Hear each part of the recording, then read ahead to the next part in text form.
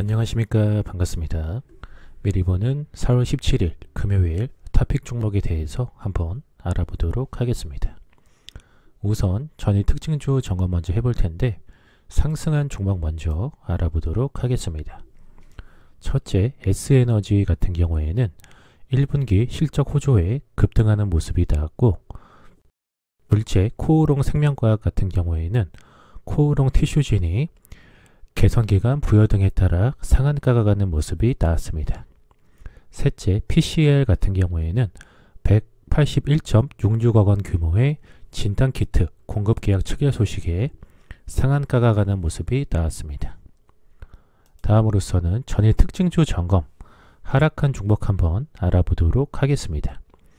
첫째, 진양화학 같은 경우에는 21대 총선이 마감한 가운데 오세훈 관련주들이 하락하면서 급락하는 모습이 나왔고 둘째 서현 같은 경우에는 윤석열 검찰총장 퇴진 압박 전망 속에 윤석열 관련주들이 하락하면서 서현이 하락하는 모습이 나왔습니다.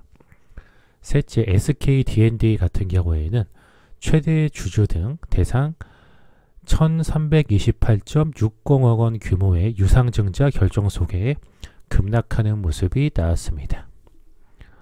다음으로서는 4월 17일 금요일에 관심 갖고 봐야 될 섹터 및 종목들 한번 알아보도록 하겠습니다.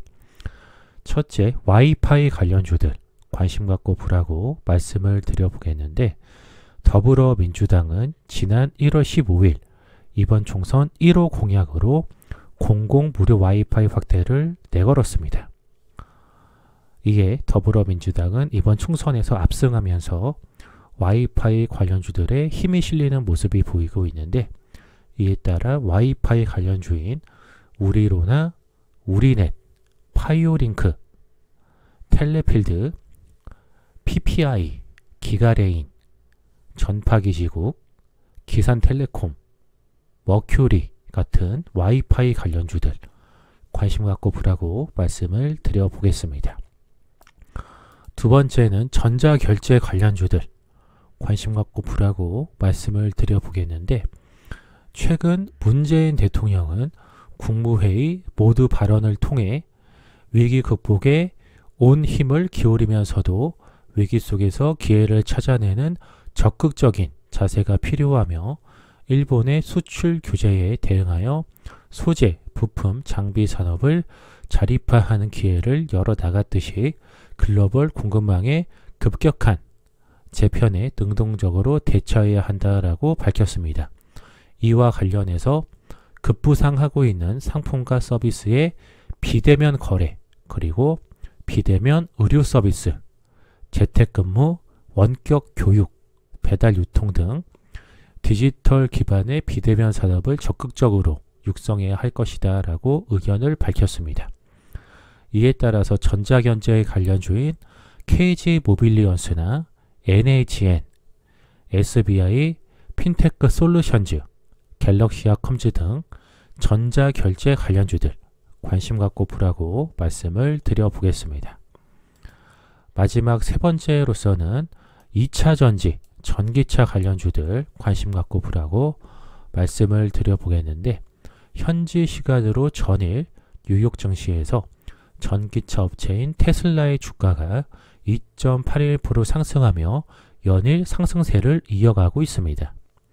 일부 언론에 따르면 지난달 중국 자동차 시장의 전체 판매량은 43.4% 감소했으나 중국 내 테슬라 차량 등록은 전월보다 450%나 증가한 것으로 전해지고 있습니다.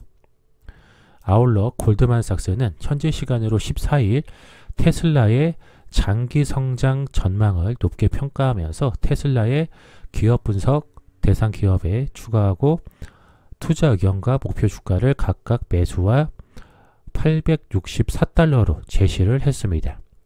이에 따라 2차 전지 전기차 관련주인 코스모 화학이나 LNF, 에코프로, 사막 콘덴서, CIS, PNT, 코스모 신소재 등 전기차, 2차 전지 관련주들 관심 갖고 보라고 말씀을 드려보겠습니다.